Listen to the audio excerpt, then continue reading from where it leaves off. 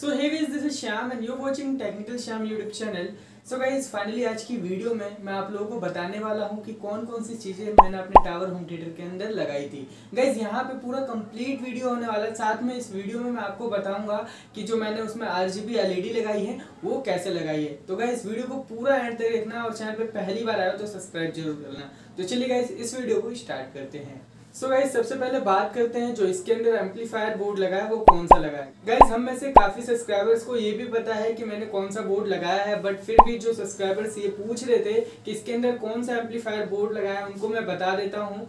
कि इसके अंदर जो बोर्ड लगा है वो सेवन टू नाइन फोर का बोर्ड लगा है, जो कि डबल आईसी में होता है, सौ वाट पर चैनल होता है। तो उसमें मैंने सौ सौ वाट के दो चैनल वाले बहत्तर चौरानवे का बोर्ड लगाया। साथ ही उसके अंदर जो पावर सप्लाई है, वो चौबीस ज़ीरो चौबीस पाँच एम्पियर की है, ठीक है? जो कि एल्युमिनियम वाइंडिंग के साथ है। अगर आप कॉपर वाइंडिंग लगाते हैं तो और भी अच्छा आपको साउंड आउटपुट देखने को मिलता है, ठीक है? उसके बाद गाइज़ इसके अंदर जो बूफर्स है, वो तो आपने देखे होंगे, दस इंची के बूफर लगाए हैं और साथ ही चार चार इंची के दो ट्विटर लगाए हैं और जो आठ जीबी एलईडी लगाई थी, वो कैसे ग्लो कर रही थी, मैं आपको बता देता हूँ। गाइज़ आप लोगों को पता है, उसमें ज़ीरो बारह का जो कनेक्शन है, वो अलग से मिला था हमारे ट्रांसफॉर्मर के अंदर।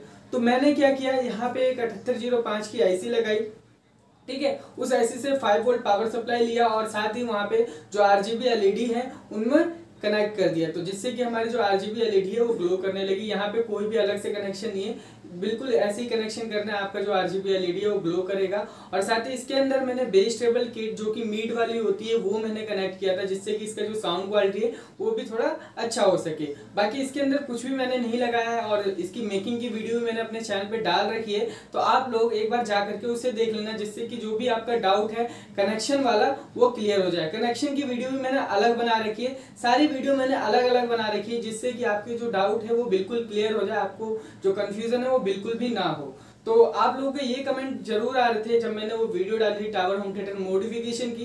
तो आप लोगों के कमेंट आ रहे थे कि भाई इसके अंदर क्या क्या लगाया है, वो चीज़ें भी बताओ। तो फाइनली आज की वीडियो में मैंने बता दिया। लेकिन फिर भी अगर आपको देखना है तो जो वीडियो में मैंने आपको होम थिएटर बना करके दिखाया है, वो वीडियो आप देख सकते हैं। आपको वहाँ पे जो डाउट है, वो क्लियर हो जाएगा। सो so फाइनली आज की वीडियो में इतना ही था। अगर आपको वीडियो अच्छी लगी हो या फिर कुछ समझ में आया हो तो प्लीज़ यार वीडियो को लाइक ज़रूर कर देना और चैनल पर पहली बार आया तो सब्सक्राइब कर लेना। ठीक है सो गाइस मिलेंगे किसी नेक्स्ट वीडियो में किसी नेक्स्ट टॉपिक के साथ तब तक के लिए बाय बाय